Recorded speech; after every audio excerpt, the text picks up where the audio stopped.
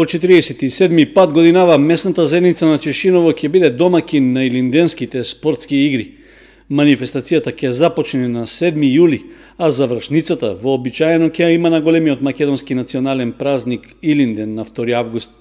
Централно место на игрите кои имаат повеќе децениска традиција вообичаено е турнирот во фудбал на кој учествуваат екипи од регионот.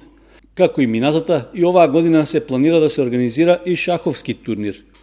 Организаторот на спортските игри веќе го испрати повикот до сите местни заедници во источниот плански регион да ги известат заинтересираните спортски екипи од нивните места за да го пријават своето учество по пошта или телефонски. Истото ќе можат да го сторат и на договорниот состанок што ќе се одржи на 30 јуни во просториите на објектот на поранешната општина Чешиново. Вообичаено до сега имаше голем интерес меѓу спортистите, па се пријавуваа и по повеќе од 20 на фудбалски екипи, поради што се формираа и елиминациони групи.